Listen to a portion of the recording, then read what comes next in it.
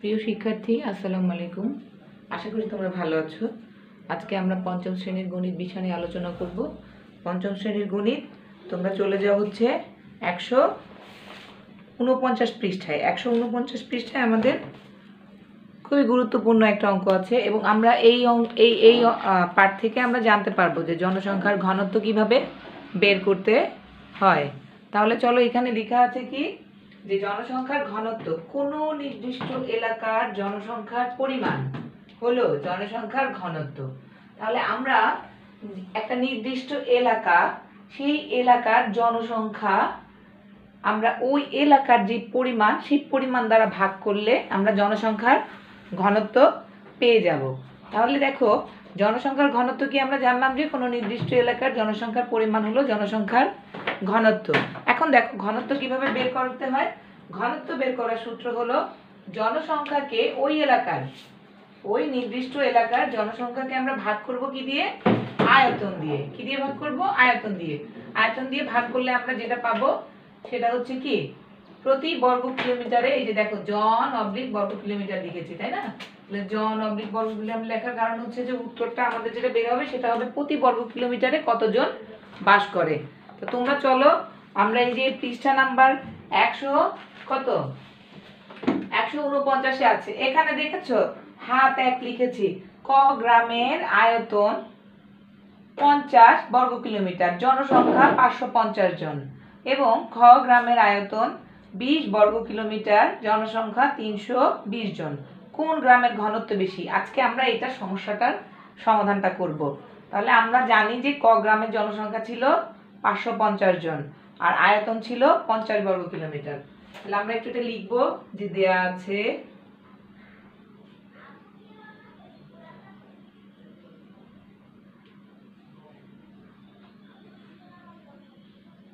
ক গ্রামে জন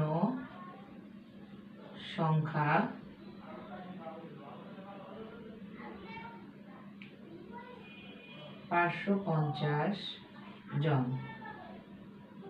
আর আয়তন হচ্ছে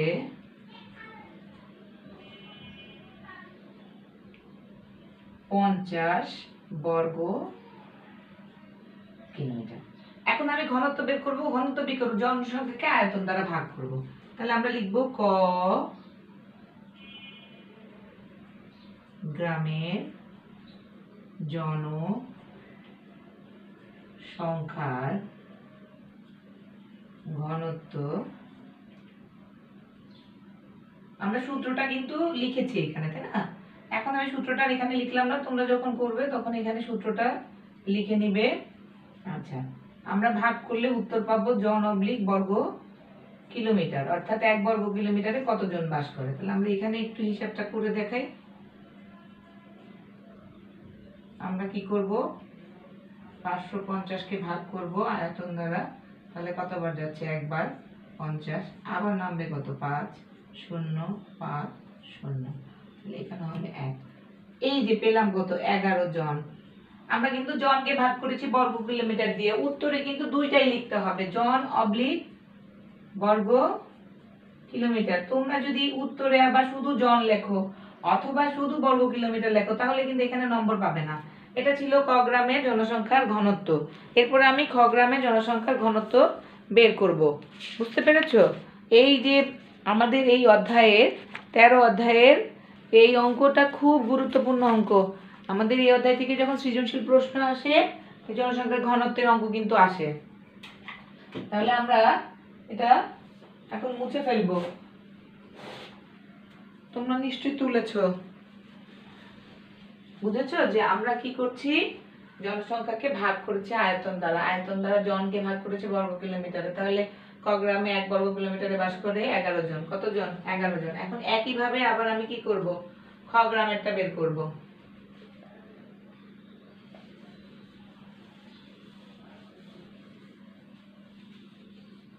আচ্ছা এখানে আমি লিখব খ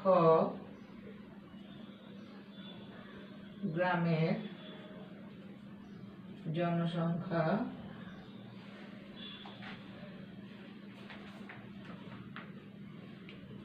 তিনশো বিশ জন।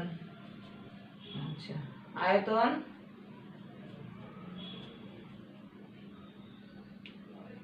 বিশ বর্গ কিমি। এখন আমরা খ গ্রামের জনসংখ্যার ঘনত্বটা বের করব। আমরা এটাকে মুছে ফেলি।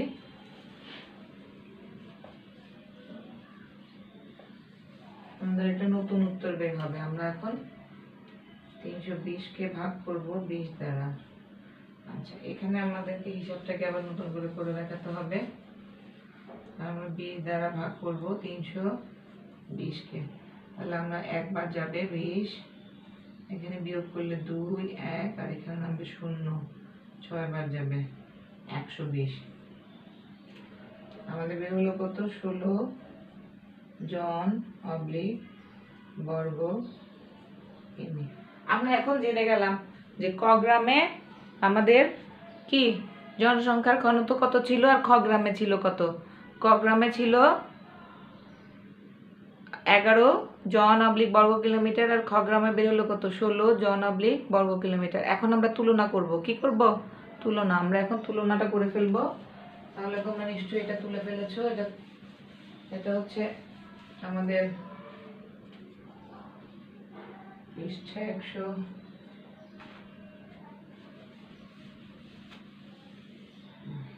আমরা এখন লিখব ক গ্রামের জনসংখ্যার ঘনত্ব এগারো জন পাবলিক বর্গ কিমি খ গ্রামের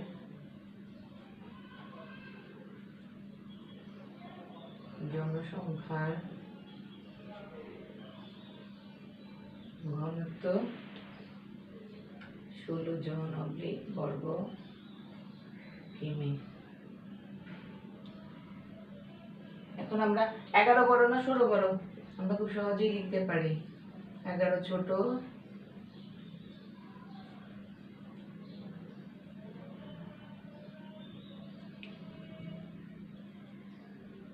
আমাদের থেকে কে ষোলো বড়? আচ্ছা সুতরাং খ গ্রামে প্রশ্নে বলেছি কি, কোন গ্রামে জনসংখ্যার ঘনত্ব বেশি? খ গ্রামের জন সংখ্যার ঘনত্ব বেশি। এইভাবে আমাদেরকে প্রশ্নে বলে দিবে এবং আমরা কি করব? আমরা লিখব, তাই না? উত্তর খ গ্রাম। উত্তর কি? উত্তর খ গ্রাম। তাহলে আমরা প্রথমে ঘনত্ব বের করেছি, তারপরে আমরা কি করলাম? তুলনা করলাম, তাই না? এই ছিল আমাদের অঙ্কটা।